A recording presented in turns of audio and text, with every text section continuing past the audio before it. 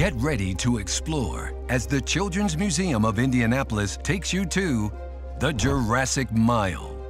Our mission, find what nature left behind and protect it so we can search for clues to reveal what happened when dinosaurs roamed the earth.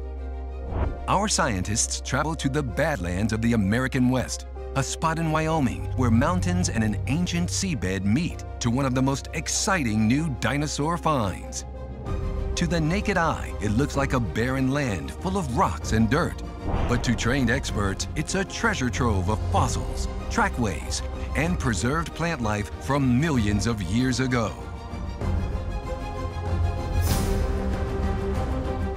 Three extraordinary museums join together to share an amazing discovery, one that could change the world. From the University of Manchester, working with the Children's Museum of Indianapolis, are Professor Phil Manning and Dr. Victoria Egerton. It's really exciting that this slice of Jurassic time in Wyoming is being opened up by a team of international scientists in a way that it's never been done before.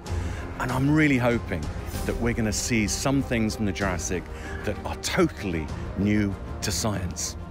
I'm most excited about the fossilized plants. We don't know much about plants from this particular time period. We know that there were no flowering plants, but we do know we have conifers and ferns and ginkgos.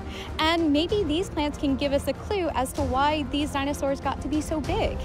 Top experts from around the globe are joining scientists and explorers from the Children's Museum to serve as dinosaur detectives to uncover clues from millions of years ago from the Natural History Museum in England. There are not very many places in the world where you can do fieldwork where you can literally step a few hundred metres and be in completely different parts of not only the time column, but also completely different environments. The most exciting thing for me about this is being able to go out to Wyoming, to a place I love. It's the centre of my field area anyway, where I do a huge amount of research, and being able to spend my summer digging up dinosaurs and finding new species and seeing things that literally nobody has ever seen before. To the Naturalis Biodiversity Center in the Netherlands.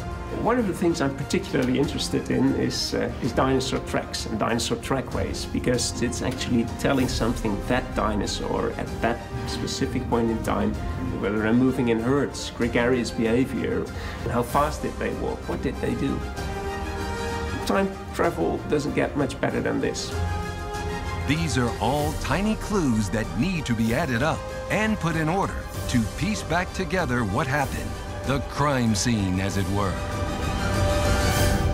More than 100 scientists are putting their expertise and brain power together to learn the answers to some of the most fascinating questions of a time long ago.